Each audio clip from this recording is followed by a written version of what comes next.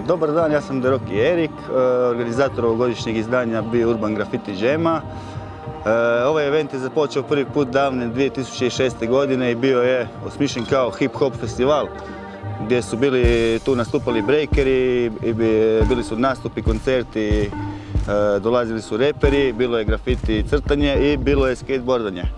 Ove godine, nakon četiri godine ovaj, šta se nije održao što se nije event održao, smo odlučili osvježiti zid i napraviti nešto novo, neku malo manju skromniju verziju Bio Urban e, e, festivala, samo sa grafitima. U skladu sa epidemiološkim mjerama, između ostalog.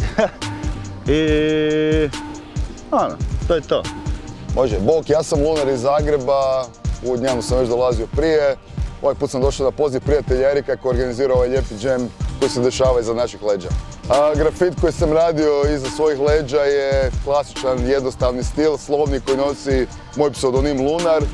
Također nosi moj prepoznatljivi lik Mačka i spominje Italo Disco kao jedno od mojih omiljenih žanrova glazbe. Nadam se da ćete uživati.